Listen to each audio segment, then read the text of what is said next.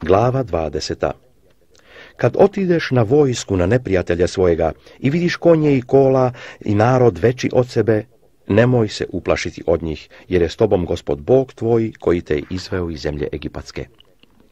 I kad pođete da se pobijete, neka pristupi svećenik i progovori narodu i neka im reče, slušaj Izraele, vi polazite danas u boj na neprijatelje svoje, neka ne trnu srca vaša, ne bojte se i ne plašite se, niti se prepadajte od njih.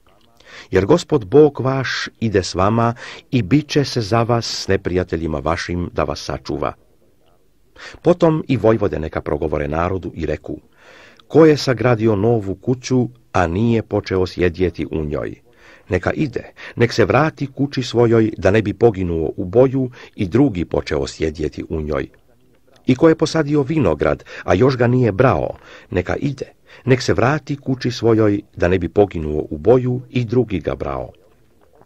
I ko je isprosio djevojku, a još je nije odveo, neka ide, nek se vrati kući svojoj da ne bi poginuo u boju i drugi je odveo.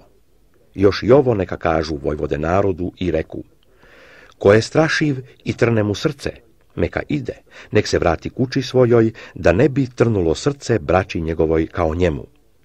I kad vojvode izgovore narodu, onda neka namjeste glavare od četa pred narod. Kad dođeš pod koji grad da ga biješ, prvo ga ponudi mirom. Ako ti odgovori mirom i otvoriti vrata, sav narod koji se nađe u njemu neka ti plaća danak i bude ti pokoran.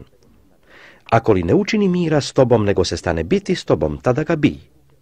I kad ga gospod Bog tvoj preda u ruke tvoje, pobiji sve muškinje u njemu mačem.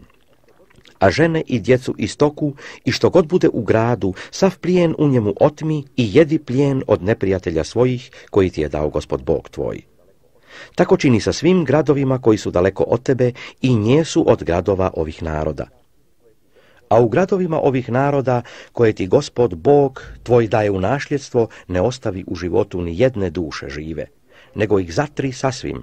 Heteje i Amoreje i Hananeje i Ferezeje i Heveje i Jebuzeje kao što ti je zapovjedio gospod Bog tvoj, da vas ne nauče činiti gadna djela koja činiše bogovima svojim i da ne zgriješite gospodu Bogu svojemu. Kad okoliš kakav grad i budeš dugo pod njim bijući ga da bi ga uzeo, ne kvari drveta njegovih sjekirom,